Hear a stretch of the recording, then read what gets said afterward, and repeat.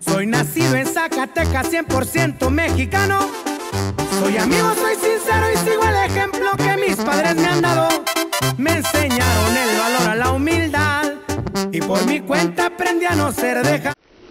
Bueno, mujeres, para empezar vamos a poner poquita agua a hervir para cuando esté el arroz listo para echarle el agua, ya lo tenemos ya bien caliente el agua y podérsela echar. Bueno, aquí también tenemos el puré de jitomate, puedes usar este o puedes usar jitomate regular como gustes y tenemos el consomé de pollo. Ok, aquí ya vamos a echar el agua caliente para poder agregar el puré de jitomate y el consomé de pollo, ¿ok?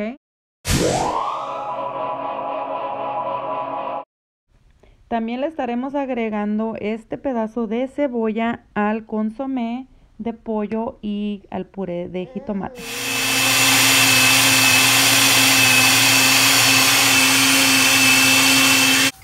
Ok, aquí el arroz ya lo tenemos en el aceite, lo estamos dorando, que quede bien doradito.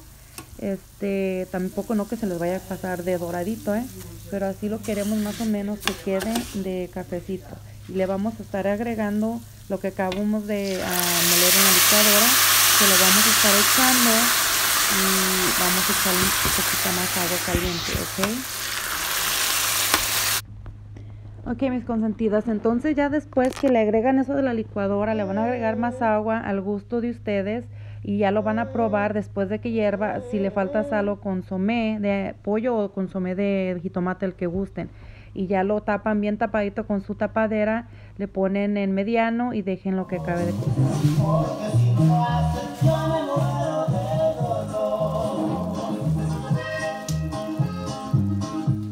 Ok, ahora el siguiente paso seguiremos con las enchiladas. Este, ya tenemos los chiles aquí hirviendo. Este, ahorita les estaré enseñando cuál, qué clase de chiles estuve usando, ¿ok? Ok, miren, aquí les muestro qué clase de chiles estuve usando. Pueden usar nomás el que quieran, el Nuevo México y es todo. Las heridas que tengo sangrando, solo tú me las vas a curar. Yo no sé cómo vayas. Ok, aquí ya le echamos el ajo y ahora sí le vamos a echar el chile que acabamos de, de cocer, ¿ok? No tengo dinero con mi vida. Te voy a parar. Bueno, aquí le estaremos agregando la sal al gusto y aquí estaremos ya licuando todo el chile. Y después de colar el chile vamos a colarlo bien coladito para que no tenga pellejos la salsa y al último se nos queden ahí pegados en los dientes. ¿Ok? Y ya después de colarlo seguimos el siguiente paso de empezar a hacer las enchiladas. Bueno, y así es como nos queda la salsa para las enchiladas. Si ven, bien coladito, sin pellejos, ni tan aguado ni tan espeso. Aquí estaremos agregando en, la, en el sartén donde vamos a hacer las enchiladas. Ahí se me fue un pedazo de chile este, aquí estaremos agregando el aceite. Aquí es donde vamos a hacer las enchiladas. Las vamos a poner. Este, aquí ya tengo mi cacerola donde vamos a hacer las enchiladas.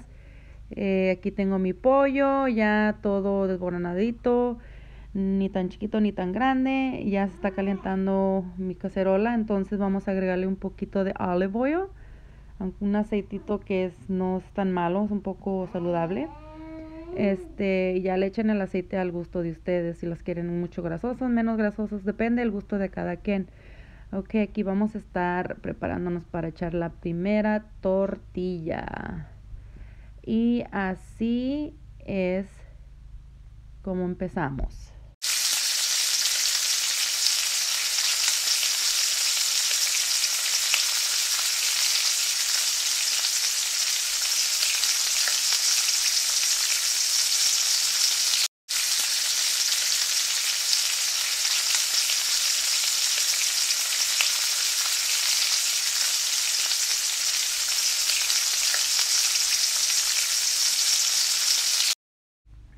Bueno, y así es como estaremos siguiendo el siguiente paso. Es de que cuando ya estén bien calentaditas de los dos lados, o sea, cocinadas, ya le vamos a ir agregando lo que es el pollo en medio para poder, enredarlas. Puedes agregarle queso también adentro o cebollita, pero ahora las estoy haciendo un poco diferente. Estos son otros tipos de enchiladas. eh, lleva puro pollo, llevará la cebolla, pero frita la cebolla arriba. Ahorita van a ver cuando les enseñe. Pero sí estaremos haciendo las enchiladas, echándole su pollito adentro y enredándolas y así paso a paso estaremos haciendo repetidamente esto hasta que llene la casero, la charolita donde voy a hacer los, bueno, donde van a ir todas las enchiladas. En esta de aquí, allí les vamos a ir juntando. Este, y ahorita vamos a regresar ya cuando casi estemos con el sartén ese lleno, ¿ok? Y así van quedando, miren.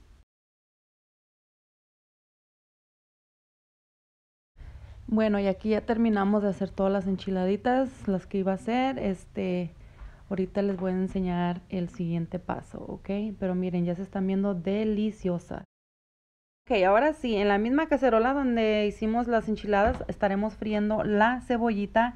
Este, pueden hacer la cebolla que quieran, la cantidad que ustedes les guste.